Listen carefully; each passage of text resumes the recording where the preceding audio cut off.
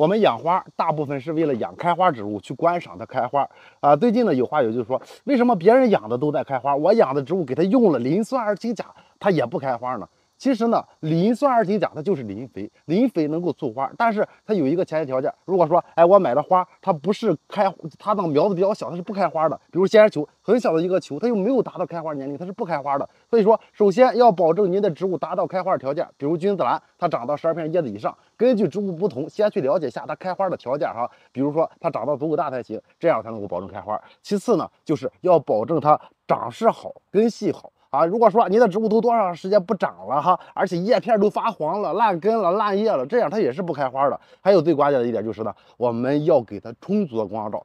百分之九十以上的开花植物都是需要光照去促花的。如果说光照时间不够，它是不开花的。比如我们养的菊花、长寿花啊，有的花友说它的花期是在秋季，当然秋季是短日照，所以说它在秋季是自然花期。但是我们在夏季去买，在其他季节去买的话，长寿花也好，菊花也好，都是带着花的。这是为什么呢？因为它是通过控制光照去操作的。比如说菊花和长寿花它是需要四到六个小时的短日照，持续一个月。那么我们就给它建四到六个小时光照，其他时间给它遮光处理的话，那么它就能分化花芽。大棚里都是这样去操作的。所以说，您去想要植物开花，不仅仅要使用磷肥哈，一定要记住这几点。首先要长到足够大，其次呢就是要光照合适，长时间不见光不开花，光照时间过长，有很多植物也是不开花的，这是最主要的。还有一个关键点就是磷酸二氢钾，对于大部分植物都能够用，但是有些植物。是多季开花的，比如我们知道的米兰、四季栀子花、三角梅，这些呢是枝条一直长一直开啊，包括天竺葵也是如此。如果说您长时间使用磷酸二氢钾，磷酸二氢钾里边只含有磷和钾两种元素，